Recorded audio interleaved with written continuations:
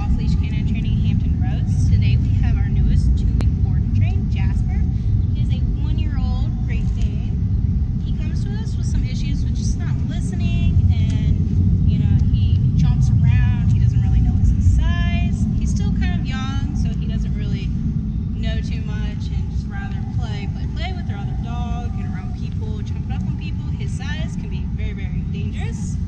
Um, they like to go outside. They have horses and they go hiking and to events and stuff. They want him to be able to listen. He has kind of a hard time just kind of sitting there, just staying in his place. He needs to like be able to enjoy an event and you know not be so troublesome to where he's a bother going out with. His family just wants to enjoy life with him. So today's day one, and we'll see what he knows. Jasper, come. Oh, good boy. Good boy. Sit. Jasper, sit. Down. Down. That was a good sit.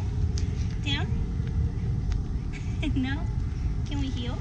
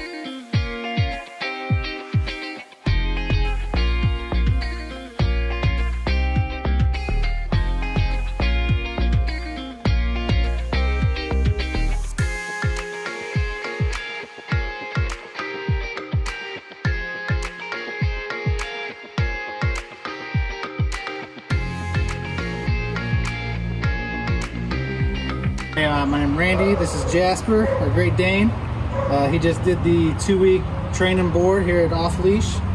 Uh, got great report cards every day on him on his progress and uh, what the boy was doing. Uh, he's a puppy. He's one years old, and uh, before we brought him here, really being a puppy, wouldn't always listen and uh, trying to get him to, to follow our commands. But uh, very happy with uh, the results after the two-week program.